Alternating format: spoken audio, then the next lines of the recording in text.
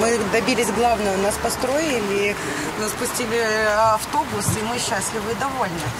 Довольны и благодарят главу городского округа Пушкинский Максима Красноцветова жители в прошлом проблемного жилого комплекса «Пушкарь». Застройщик не справился с обязанностями и строительство затянулось. Благодаря действиям властей все дольщики получили заветные ключи от своих квартир. Мы все благодарны губернатору за а, принятое волевое решение, за то, что были найдены деньги, за то, что вошли в программу. Мы благодарны многим должностным лицам, в том числе и депутату Государственной Думы, который лично здесь участвовал, Сергей Александрович Пахомов, вот, и многим-многим-многим другим людям, кто приложил руку к завершению этой истории.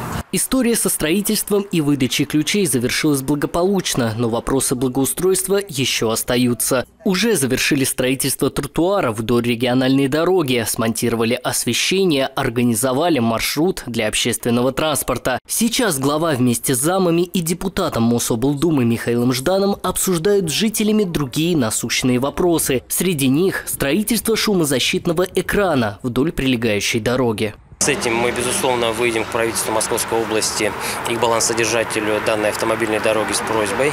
Вот. Но перед этим мы должны провести общее собрание собственников и, собственно говоря, узнать общее мнение э, людей, которые здесь проживают. Также остаются обещания, нереализованные самим застройщиком. Например, строительство павильона для канализационной насосной станции и вопросы по некоторым элементам дорожного покрытия. Последняя тема сегодняшней встречи – это передача основных средств на баланс ресурсоснабжающих предприятий. В этой связи администрация занимается и в ближайшее время из казны все эти основные средства будут переданы на баланс ресурсоснабжающим предприятиям, и которые, в свою очередь, возьмут это все в обслуживание. По факту сейчас а, обслуживание происходит, но вот, этот момент переходный, он немножко затянулся. Наверное, для этого в том числе мы сегодня, э, собственно говоря, и встречаемся. А вот к новоселью уже готовятся жители дома на улице Краснофлотской в Красноармейске. Выдача ключей от новых квартир уже началась. Сюда переедет 281 семья из 19 аварийных домов. Это более 620 человек.